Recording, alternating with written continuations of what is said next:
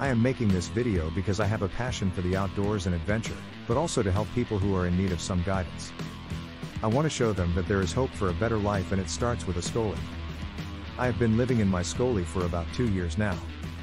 It has been an amazing experience so far and I am excited to share my story with you. Two years ago I was a struggling student who had no idea where my life would take me. My goal was to graduate from college and move out of my parents' house, but I didn't know where I would live once I made that move. The idea of living in a van sounded crazy, but van life caught my eye at one point and when it came time to decide on buying a vehicle for myself, the decision was easy. I decided to buy an old van that I found on CL and have slowly been fixing up in my spare time. The main goal was to live cheaply, but comfortably enough to travel without feeling too much like a vagrant. That being said, I'm not sure if I've achieved the latter, but we'll see how things go. What are some of your biggest challenges? My biggest challenge has been getting the vehicle ready for use. It's really different to car ownership and it took me a while to get used to it. I'm really happy with my vehicle.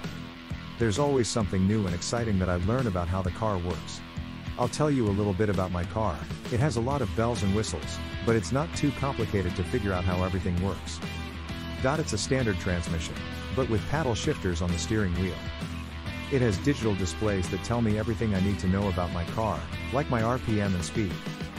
The handle slash door release is on the left side of the car, which is, I suppose, where it would be on an American sedan. Semicolon the keyhole is also on the left, which is also, I suppose, where it would be on an American sedan.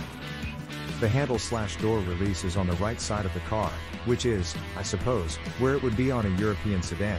The keyhole is also on the right, but this time around it's to the left of where you'd expect to find it. Dot the car's white body is actually made of a white body slash black roof combination. It would ordinarily be a front wheel drive sedan.